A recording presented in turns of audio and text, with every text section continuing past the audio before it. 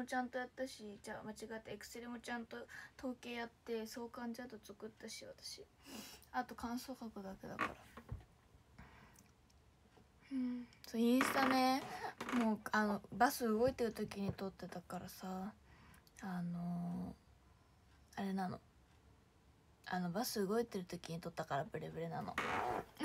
桃音さんもハーサッチも全員川端さんにねご馳走していただいたんです。もうありがとうございます川端さん。ここで言う。まちゃんと直接言ったんだけどね。そうそう。まだファンレター送れないと思う。わかんない。どうなんだろう。最近公演出れてないから何とも言えない。いつからなんだろう。でもでもね今日はちゃんと片付けも全部できた。コスメも収納したしでなんかドレッサーみたいなやつも収納したしなんか教科書も全部エモストの時あっちで全部リビングに持って行ってたんですよ。エモストの配信こっちでノイズでやってこっちで授業を受けるみたいな。オンライン用と壁紙貼ってないでよみたいな。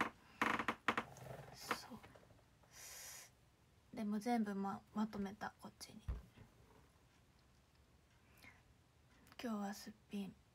明日も朝すると思います。ショールーム。明日はねある先輩とご飯行くの。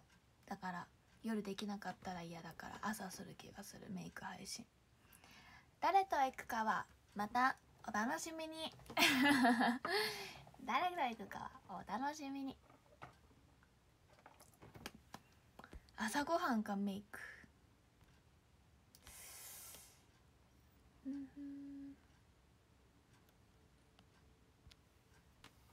誰でしょう？現役さんですね。まあまあなんかまあ見てもああってなる感じかも。普通に。まあ誰でしょう？って感じですね。桃音さんとはねめっちゃ喋るよ。結構なんか普通に2人で楽屋とか喋ってる。誰だろう誰だろう。誰だと思いますか？今日とあのココナタンからさいきなりさ「ねえねえ暇?」って来て。6時前ぐらいに「今から遊べる」「いやいやいやいやすっぴんすっぴん」って言って。で今日ちょっとレッスン行ってたから。それ行く前やったから「あかんわ」って言って。遊びたかったココナタンと「ごめんねまた誘ってね」高校セブンまた誘ってねおここ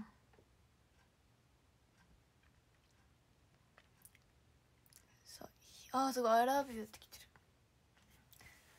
そうそういけなかったのちょっとね歌唱力の練習しなきゃいけなかったからめっちゃ肌荒れてるでもすっぴんやばいよ今わ訪問回数300ありがとうございますすごい300回もう1年やん。1年やん。そうあの、いきなり暇になったらしいの「いきなり暇なってん」って言われて「ごめんや」とか言って。LINE で。調子乗っちゃって。そうそうそう。タンタタン。タラランタラ。暇人やと思う。でもなおここさんはな私あ何かあったら LINE してくる「暇?」って。まだ2回目やけど。あ半袖寒い。今日はね着てたんやけどカーディガン。でもあんま外行かんかったから。うわ落ちちゃった。あんま外行かんかったから。半袖。じゃあなんか衣替えしたくて半袖着て洗濯して直し込みたいんですよね。そうだからね半袖着ていかなやばいねんな。でも半袖じゃないよな。でもでも今日昼間あったかかった。普通に。2回目2回目。これジェラピケいただいたものですね。ジェラピケねあんまりね自分ではやっぱり買えへんからさいただくの嬉しいめっちゃ。なんかあんまりパジャマとか GU とか可愛いのいっぱいあるのに買わへんからさいつも T シャツで寝てるからこうやって可愛いのいただいたら可愛い嬉しいですね。パーカーだけじゃないけど。うん。ガガガガッとなった？嘘。3回目の日も来る。ね来ると思う。チラピケかわいいよな。自分で買ったことほとんど誕生日プレゼントぐらいにしか買ったことないけど友達の。けどパーカー以外にもジラピケいっぱいワンピースとかあるから。あママに一回買ってもらったことあるわジラピケ。こんぐらいの前髪の薄さにしたい。薄いな。そうまだ T シャツで寝てる。T シャツに毛布で寝てるすっぴんやからまあリッパ塗ったけどさっき。よ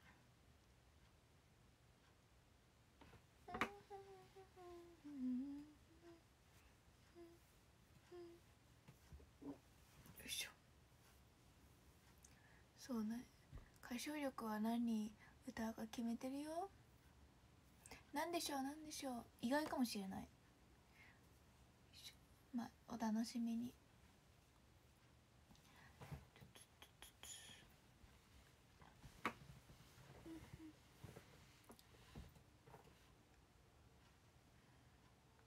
すっぴんでもかほんまに？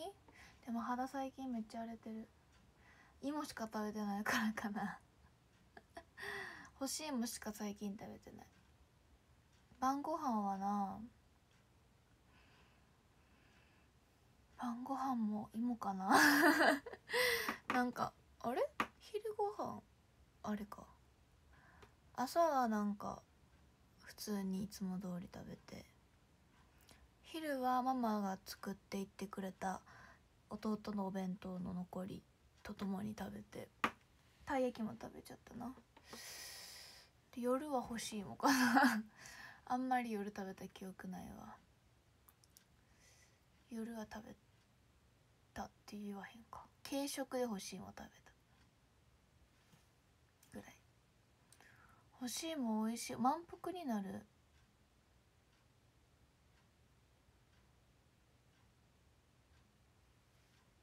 ちょうどバイト終わった。おナイス？そう栄養方やってるよ。でも朝ちゃんとさんあの栄養素栄養素食べた。うん。いやダメ。そうさっきまで私たちが私たちはどうかしているを見てちょっとね泣きかけたんですよ。水木有沙さんがあとなんかほこり入ってる？これもしかして。水木有沙さんがあの亡くなり交通事故の場面見ててなんかなくなっちゃう。あ言っちゃったネタバレしちゃった。ネタバレしちゃった。今。ごめんなさい。みんな見てる見て見てること願うわ。ネタバレしちゃった。ごめん。ごめんね。めっちゃごめん。めっちゃごめん。めっちゃごめん。めっちゃごめん。めっちゃごめん。ネタバレ一番嫌だよね。めっちゃごめん。もうめっちゃ謝る。めっちゃごめん。そう TVer で見て。めっちゃごめん。めっちゃごめん。めっちゃごめん。本当にごめん。ネタバレって嫌だよね。本当にごめん。本当にごめん。ほんまにごめん。ほんまにごめん。やったわこれ。やったわ。私が一番最低嫌なやつやってもうた。ごめんなさい。言っちゃったからしょうがないね。それでね。それでね？話すあたり最悪なんだけど。なんかお母いいお母さんじゃなかったんですよ。でもなんか最後ぐらいね。やっぱお母さんってねお母さんなんだよ。って思っちゃったね。そうなんかねそう思っちゃった。なお母さんってお母さんなんだな今の全部嘘でしたって言って大丈夫今じゃ全部嘘です。あかんわ。お母さんお母さんの中で出た。なんかよかったよ結局は。やっぱドラマってやっぱハッピーエンドで終わるのがなんかありったけとか言われるけど反対にそれで終わらなかったらさなんか価値観がとか言われるから。やっぱハッピーエンドで終わった方がいいよね。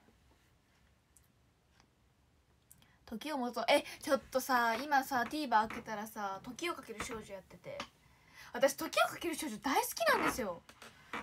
あのめっちゃ好きで「時をかける少女」もうなんで本あの一冊しかないの？ってちょっと問いたいぐらいを時をかける少女超好きなんですあ DM 見てるよ。もうねそう大好きでもう本当に言わせてほしい。あんなさファンタジーなささなんか脚本思う人います？もうめっちゃ好きなんだよね。今 TVer でやってるから4話ぐらいまで。見てください。5話で完結するからドラマは。あの黒島結菜ちゃんが主演なんですけど。あのね本当にあの時をかける少女はなんか時って大事だなってすごく思うんですよ。中里依紗さんのやつも見てみたいんですけど映像が古いからさ私が一番最初に見たのは黒島結菜ちゃんのやつ見てでその後にそのストーリーにどっぷりハマってで本買ってずっと本読んでる。もう何かあったら読んでる。もうね本も「時をかける少女」で売ってるんですけど第3章まであってで1章だけなんですよ「時をかける少女が」23章もすごい面白いファンタジーなんですけどなんかねやっぱ「時をかける少女」が一番いいね。本当に。いいよあれめっちゃ。なんか私あんまりジブリとかアニメとか見ないんですよ。あのファンタジー現実ものが好きで現実以外のものあんま好きじゃないんですよ。リアル感が好きで。家庭的なものとか。でもあれはファンタジーっぽいけど SF? ファンタジーなんだけどあのー、なんか現実味があってよかった。もう最後切ない。そうなの。もう本当に見て。めっちゃいいから。もうなんかね切ないんだけど苦しくないくるなんだろう苦しいんだけど納得できるからすっきりする。確かに現実見た話そうだね。なんかねジブリとかって見ちゃうと私入り込んじゃってなんか入り込むっていうかなんかね変にね自分がジブリの中に行っちゃうんですよ。なんか主人公を自分で見立てていつも見てるから夢に出てきて夢の中であのジブリ体験するからちょっと怖いんですこれ何回も言ってるねこの話。だからジブリは見れないんだけど。そうジブリ夢出てきちゃう。ヤッホー。ビギナーさん。そう。だってそうでもジブリ飯は好きなんです。そうポニョもさ私の私もポニョ見てポニョになったんですよ。夢の中で。私さ海の上歩けなくてさ覚えれたの私。ポニョ。ポニョ溺れたの私。だからね嫌なの。もう見れない。でトトロはいける。トトロはお母さんのとこつかなかったけど私。ね黒猫で。黒猫バスで。つかなかったけどトトロは見れる。だって現実はついてるから。うん。でうんとあと何が何結構見てるかな。そう。黒猫じゃないか。なんだっけあれ猫バス？なんだっけあれ。最近見てないから忘れちゃった。マジの宅急便はあの私はほうきにちゃんと乗れなくて 落ちかけて自分目夢から覚めろって言って覚めたな。だ結局街にはたどり着かなかったんだよね。あのでも魔女宅急便は好きです。なんか保育園の時に演奏したから読んでた。猫の恩返しは好きだよ。日の当たる坂道を自転車で駆け上る。猫の恩返しは歌が好き。だからまだまだまあ夢見てないから、まあ、見たけどあんまり衝撃的な夢じゃなかったからまだ見ける。ハウルは見てないね。ハウルって何だっけ？そう。あの猫の恩返しは夢見たんだよね。ゼリーに入るところ。思い出したわ。けど私の場合ゼリー食べたんだよね。あれ全部。結局。私も食べたんだよね。食べれたんだよね。だから気持ち悪くなっちゃったけど。まだなんか大丈夫だった。夢の中は。あと何見たっけな。あでもあれは出てこやんかったな。あ出てきたわ。あの戦争のやつ。あれ。やばい。ど忘れした。ドロップのやつ。ドロップのやつ。あ蛍の墓。蛍の墓はでもあれはもううんまあでも見なきゃだね。あれが一番見な見なきゃだと思う。って思っちゃったな。なんか蛍の墓は岩の下で弟と2人で焚き火してる夢を見たけどなんかあれはなんか別に怖いとか思わなかったな。なんかもうなんか夢の中でなんかあー戦争とかぶってないからあれやけどかぶってたらこういう気持ちやったんかなとか経験できたからいいかなって感じ。何考えてるんやろ。なんかホタルの墓ダメだよね私はティティッシュ1パックなくなったもん。なんか戦争70戦争70年戦争から70年経ちましたって。終戦して70年経ちましたっていう時にすごくねテレビですっごいやってたんですよ「永遠のゼロ」だったり「蛍の墓」だったり。私1日で録画してるやつ全部見たんです。朝から晩までで。もうティッシュ2パックぐらいのなあのあなくなったもん本当に。もうリアルで。蛍の墓でめっちゃ泣いて永遠のゼロでめっちゃ泣いて映画館で見なくてよかったなと思うぐらい泣きましたあれ。でもあれは本当にアニメ通して学べるよね。本当にあの2つの映画は本当にみみななんか生きてる間に見た方がいいきっと思った。だから全然すごいあと印象的。うん。もうやばかったあれ。もうママに泣きながら感想言ったもん。なんか感想語りたくなっちゃって。なんか泣きながら感想言って鼻水ずるずるだった。本当に。けどあれは本当に見な見たら見なきゃなって思ったのよ。永遠のゼロもよかったな。あれ本当にいいよね。もう本当にいいよね。あれ一回しか書いてないけど本当にいいよねあれ。もう感情が。しんどいもん。もう本当にねやばいわ。永遠のゼロは。うん。見てほしいあれは。いやあれはねなんか特攻隊の話なんだけど。特攻隊でやってるよね。なんか複雑だね本当に。本当に複雑。なんか最後の岡田准一さんのね特攻していくなんだろう。最後特攻隊って言うんですよねあれ。大丈夫私。あの帰れない飛行機のやつ。なんかあれってあんまりさ当たらないみたいな結局。みたいな感じだったんですよ。多分映画の中でそうやって言ってたんだよ。あんまりまあ命中することはほとんどなくて。ああるんだけどまあ何何人かに何発全員ができるわけじゃないんだけど。なんか最後フランスかどこかの国の人が「やばいあいつがあいつが来る」みたいな「すごいうまい」みたいな「もうなんで特攻していくの?」みたいな。もう「もうなんで?」で最後のその真剣な眼差しというかそれがもう今でもなんか鮮明に覚えてるもん。でその後の主題歌みたいな。そうたどり着くまでそう成功率高くない。そうそう。でも成功率高くないのにさ帰れないわけじゃないですか結局は。エンジン不足で。あとそのなんか岡田准一さんの役名が出てこないんだけど私今。あのなんかあれよね。その友達？あ友達のやつ誰だったっけ？あの友達の人が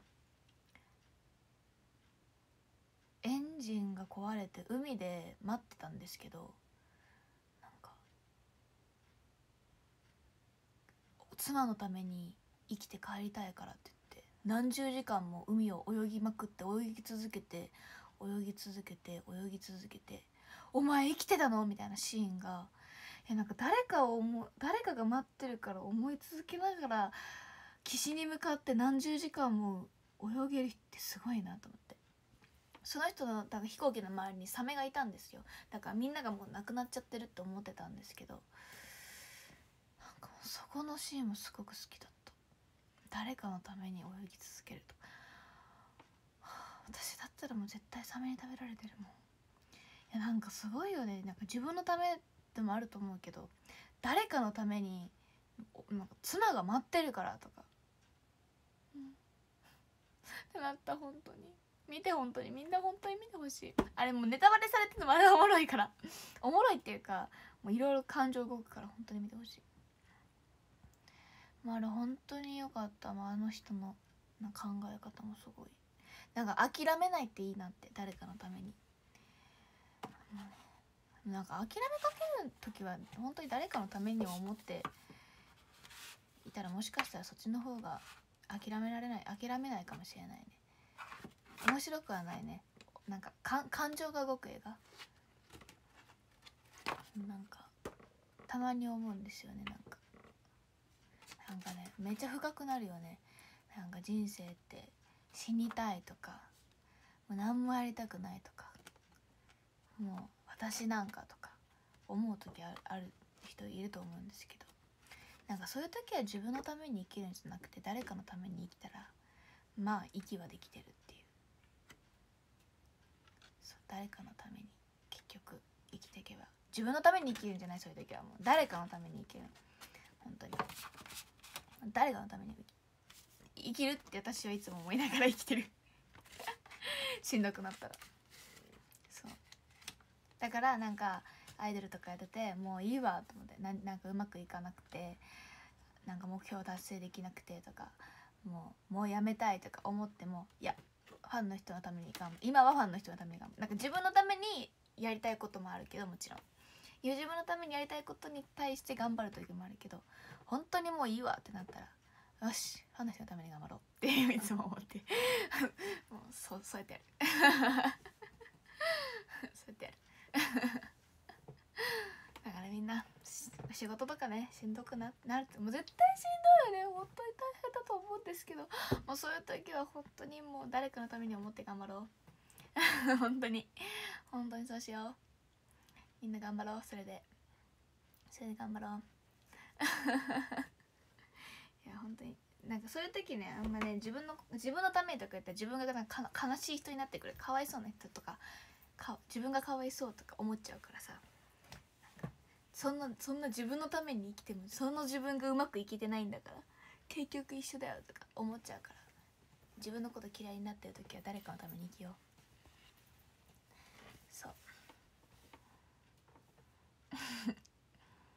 そうそうそう。そんな感じ。私の本当にメンタルがやばくなった時のモチベーションでした。メンタルやばくなったらもう自分は捨てる。寒くない。なんか部屋閉め切ってるからちょっと暑い、うん、暑くなった。でもちょっと袖袖抜いたらちょっと寒かったあーでも映画っていいねやっぱり。熱くなる。でも今あれ見たいんですよね。次始まる。有村架純さんのドラマ。あれもねなんかアットホームな感じ。アットホームな映画好きな映画とかドラマ好きなんですよね「あたしんち」とかあれアニメだけど「サザエさん」とか。そういうのが好き。安心できるものが好き。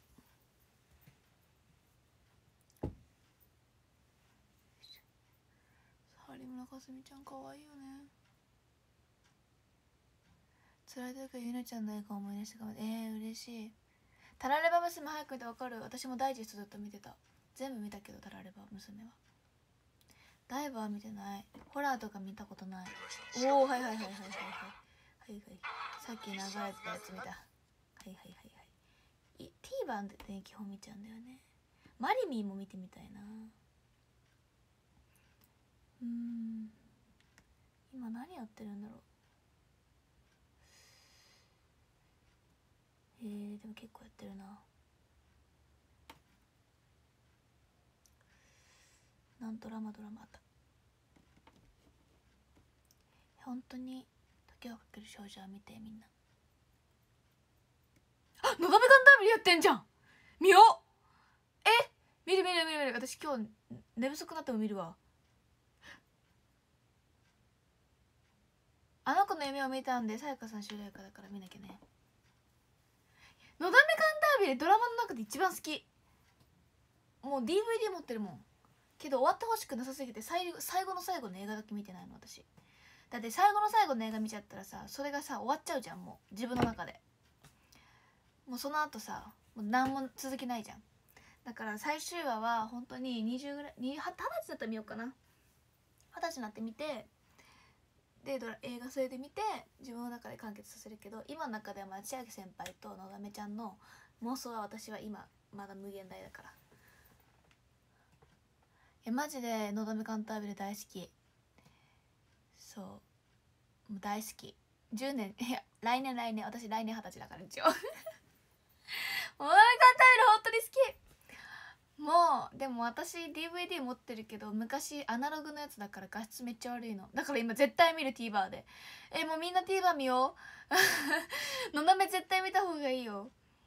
もうね泣きながらね式打ってるところとかも本当にかっかっこいいって思っちゃうの。そう一生懸命さが。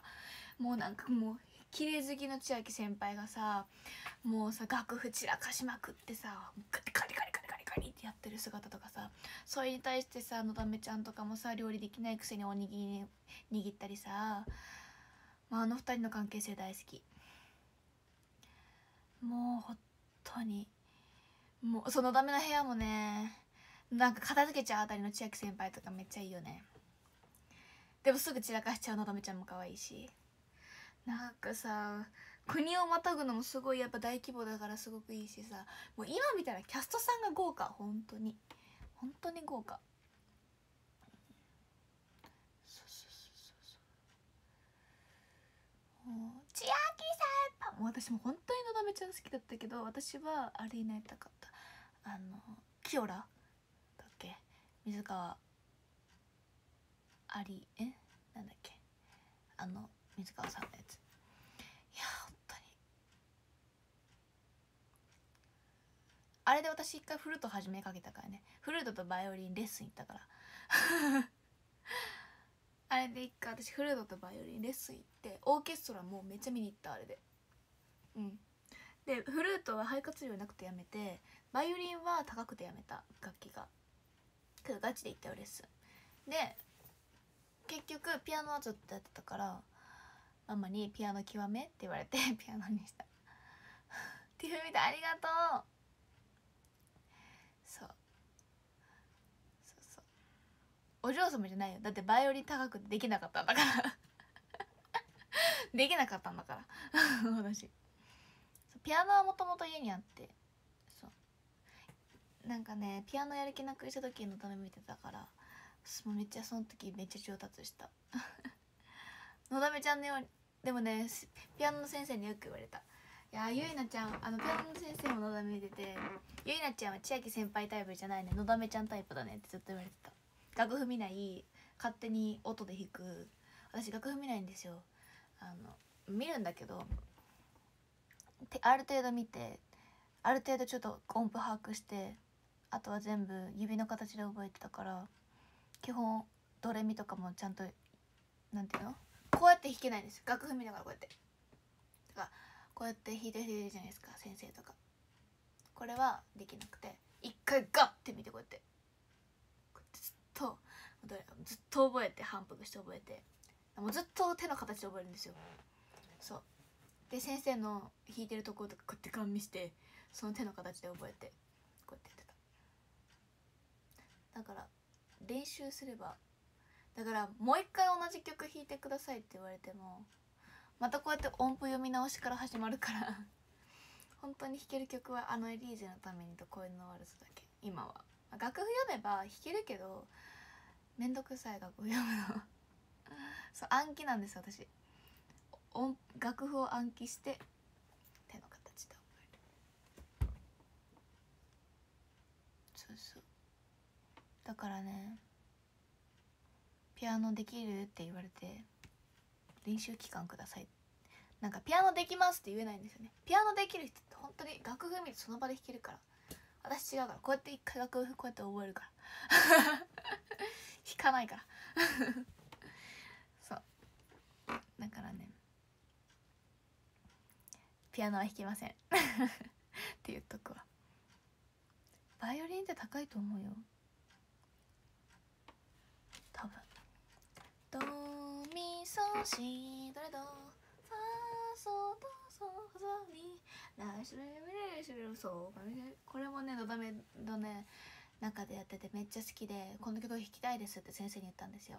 何の曲か忘れたけどドミソシドレドラソドソなんとかとか。その曲がすごくドラのだめちゃんが子供の頃幼少期弾いててめっちゃ可愛くて。でもその曲めっちゃ難しいらしいんですよ。だから先生に止められて。だからそれもそれこそドラマで音で覚えて片手でしか弾けない音で覚えてのだめちゃんのこのドラマで弾いてる指の形こうやって覚えてだからそこまでしか弾けないんですけど「ドミソシドラソドソソミラシドレミルシラ」までしか尺がないんでドラマの中で。そこまでしか弾けないんですけど。そんな感じでやってたいつも。なんか学校の校歌とかこうやってずっと耳で聞いて右手しかできないけど。指の形見たら覚えれる。だからこうやって指をドラマで指の形こうやって見て。やってた。そうでもピアノ好きじゃなかったな。なんか座っとくのがしんどかった。座れないんです。私ずっとできないの。だから一回ね先生にブレイクタイムっていうのを設けられてね。一回ねりあの一回教室一周するっていうの。先生があの連絡ノートに書いてる間にシールを床に全部広げて それで全部あの廊下走り回ったら一回ブレイクタイムやあった。だから「ゆうなちゃん一回帰ってきて」って言われた。で一回ちょっと次の休憩まで座っとこっかみたいな。感じで言われてた。もう本当にさもうねピアノ本当に苦手だったの。座っとくのがしんどかった。お尻痛かった。本当に嫌いだった。練習するのも嫌だった。だってもずっと座ってこうやってしておかないといけないんですよ。まあ今覚えば一番やっとけばよかったってめっちゃ思うもん。一番もっとやっとけばよかったってめっちゃ思ってる。一番やりたかった。もっとやりたかった。今からでも練習すればいいじゃんって思うけど楽譜読むのがめんどくさいんだよね。だって楽譜にね覚えるから楽譜にいちいちドレミファソラシド振っていくんです私。なんかピアノの先生はそれしてほしくないから絶対振らないでって言われてたけど今でもこの前のバチバチキャンプだいぶ前のバチバチキャンプでも全部音符に振ったからねこうやってルビードレミファソラシド全部書いたからね。私。全部書いた。全部書くから。読めないかだからみんなも音符さえ読めばできるよそう無理なんです。いちいちこうやってドレミファだから全部下から読んでいくのドレミファソラシドって全部読んでいって全部書いていく。イエイ。もうそう。なんかねだ無理なんだよね。読めないの楽譜。なんで？あんなにピアノやってて読めないのってびっくりなんだけど本当に。それこそ楽譜形で覚えればいいよね。めっちゃ思うんだけどさ。この形はこの和音とか覚えればいいんだけどそれが覚えられなかったんだよね。確かに。手動かすの確かに。そうそう。そう。こんな感じ。でも今この前ショールームで弾いたけどピアノ壊れててびっくりした。懐かしいなピアノとか。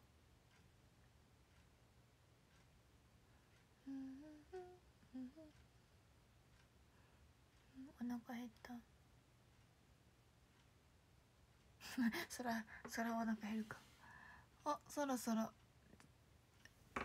ショールームじゃなくてランキングをも。お腹減った。リコーダーもね好きだった。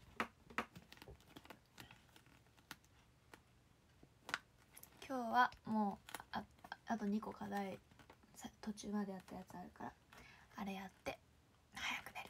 で明日朝ショールーム。朝ショールームできなかったらお昼ご飯ショールームしようかな。欲しいも食べるショールー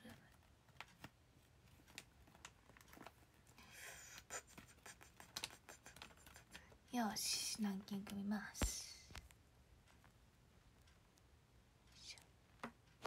13位峠さんありがとうございました。お仕事お疲れ様です。ドラマ見る時間頑張って頑張って頑張ってるもんな。ドラマ見る時間できることを願ってます。12位白白今日は何を食べたんだい？夜ご飯。教えてくれ。お腹が減ったぞ私は。ありがとう白11位ムラッツ。もうムラッツじゃん。え結局ムラッチだったんだっけ？ムラッツだったんだっけ？ムラッツで合ってるよね。ありがとうムラッツ。10位しんのすけさん。あしんのすけさん男女久しぶりに見た気がする。ありがとうございます。のすけのすけ。しんのすけ。ありがとう。9位じゅんじゅんもうずっとじゅんじゅん見てるわ最近。ちなみに。ニックネームでじゅんじゅんってつけてる人いる。今でも呼んでる人いる。家族でしかも。ありがとうじゅんじゅんえっ、ー、と8位元気くん。あアバター変わった？これ月見？お月見さん？た卵焼き？これめっちゃ美味しそう。美味しそうに見えるの私だけかな。ありがとう元気くん。もりもりもりもり。7位じいちゃん。あじいちゃん。3年目もねよろピクミンでございますね。イエイイエイ。イエイイエイ。よろピクミンピクミンピクミン。6位 ダラスさん。おダラスさんじゃん。ありがとうダラスちゃん。ダラスちゃん。初めて読んだダラスちゃんって。ダラスさんありがとうございます。今日何してたんですか？お仕事ですか？もうみんなお腹空いたから夜ご飯教えて。ありがとうございました。5位ガンズン。おガンズン。ヤッホーヤッホあれ？なんかラビ活してくれてたよね？なんかいいね押した気がする。ありがとうございます。いつも美味しそうなやつ食べてる。私が紹介したんだけど。プラペチーノだったっけな？ありがとう。えっ、と4位コロナさん。あーコロナさんヤッホー。お仕事大変ですか？また時間があればコメントしてね。待ってるよ。最近喋れてないから悲しい。さあマグマグあーマグマグヤッホーありがとう。マグマグお腹減った。お寿司食べたの？いいなちなみにサーモンが好きです私。サーモンが大好き。ファミマに売ってるファミマかローソンに売ってるサーモンのいろんな種類が入ったサーモン弁当一回食べてみるのが夢。ありがとうマグマグにー大ちゃん。大ちゃん。お話し会。喋ったの印象的。なんでやね ありがとう大ちゃん。大ちゃん早く寝てね。ありがとう。そして1位ワイタンカンター。カンタービレ。おのだめじゃん見た。ワイタン見たことあるのだめカンタービレ。なかったら TVer で見てね。ぜひ見てね。おランキング変わった。ありがとう1くまさんも。くまさんだけ？なんかギフトもありがとう。見てたよ。ランキング変わったな。9位ヨスヨスヨスヨスヨスヨスヤホー緑でしょ？覚えてる覚えてる。緑で覚えてるけど。緑で覚えてるけど。ありがとうよすよす緑私緑好きだけどミントカラーは似合わないんですよね。でも緑って綺麗な色だよね。よし。ではでは皆さん。長々と語ってしまってなかなかコメント読めなかったですが。明日はメイク配信かお昼配信。朝か昼にしたいなと思います。まあそんな夜遅くに帰ってこないからもし朝と夜し朝と昼しなかったらこんぐらいの時間にするんだろうなって思っていただければ嬉しいです。終わったら課題して課題しながらちょっと時をかける少女一回見よう。のだめ簡単めの時をかける少女どっち見よう。めっちゃ迷う。どうしようどうしよう。私が大好きなドラマ2台今 TVer でやってる私「時をかける少女」と「のだめカンタで。もう大好きなんで2つがやってるからちょっと今今そこでそこでちょっと葛藤してる。これはちょっと夜は久しぶりのいいねあーそうだね。あそっかそっか。明日もしそあの朝と昼ショールームどっちかできたらそうするわ。早く帰ってこれたら。そうだね。あーでものだめもいいよな。でも時をかける少女一番最初に見つけてしまった。時をかける少女の方が早く終わるからな。5話で終わるからな。のだめカンタービリー今7話まで出たからな、まあ悩みながら課題したいと思います。では。あ加入しなくても無料で見れるよ。私今無料会員だからまだ。では皆さん長々と語語りに付き添っていただき本当にありがとうございました。すいません面白い話全然できなくて。では皆さんおやすみなさい。また明日ね。バイバーイ。